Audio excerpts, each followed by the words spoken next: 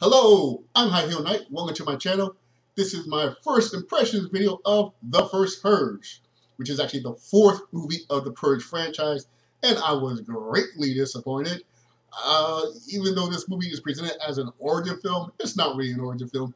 It talks about the first Purge experiment, but it doesn't really delve into the answers that we should be getting from this kind of movie. Like, how did this process of coming to the point where we're going to just kill each other came to be. There's a character that's a, a psychologist, and she supposedly thought of this process and, and this figured that this would be the best answer and somehow sold it to the populace. You know, people voted for this purge experiment.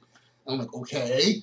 Uh, and the participants, they say, okay, it's on Staten Island. So, okay, if you sign up and you stay in Staten Island for the whole night, we'll pay you $5,000 and if you participate, we'll pay you even more. And I'm thinking, okay, well, fine. Well, let's see what happens when they get their money, when they get money, and, and, and we don't see that process. And the big selling point of the whole franchise has always been just think about what all, all the good the purge does for us. And I'm like, well, well, how? How is one night of violence going to lead to uh, prosperity for all? Now, basically, uh, the premise is, well, if the government is flat broke, so if we kill off as much poor and downtrodden as possible, then we can uh, pay for uh, who's left because we'll have more money, more funds to support those, uh, you know, downtrodden people, and we can, you know, we'll have fun for everybody else. But still, it's like, okay, but how does this also benefit as far as, uh, you know, crime rates are going to be down less than 5%, unemployment is going to be down 5%, and it's going to lead to prosperity you're talking year, but it's like, well, what about like rape? What about child abuse? What about embezzlement? What about drug trade? You know, how does that change? At least with Thanos, Thanos was like, look, I'm just being concerned about the bare basics, food, water, shelter. There's too many people, not enough resources. I'm gonna kill off half, not the poor, not the uh, uh, downtrodden, not the uh, uh um, unintelligent. No, half, just straight up half of all city life, and then we, you know, the rest will figure it out. And I don't do this for the praise and the glory. I, you know, I just want to do it and be done, and the universe turn itself. Whereas this purge is like, yeah, we're going to kill off the poor. And that's going to make the middle class and upper class richer somehow and benefit everyone. And crime rates are going to down, and it's going to be basically a paradise. And I'm like, but but how?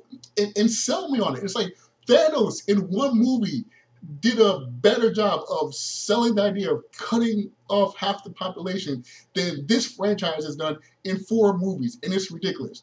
And speaking of ridiculous, there is a character in this movie who is so cartoonishly uh, evil that he's actually named after a cartoon villain. I'm serious. He's actually named after a cartoon villain. And uh, as far as the hero, if you thought Rey from Star Wars was a Mary Sue, well, this guy is a Gary Sue because he's practically an urban Rambo. He's some type of, uh, he's got all these special forces skills, even though he's never special forces.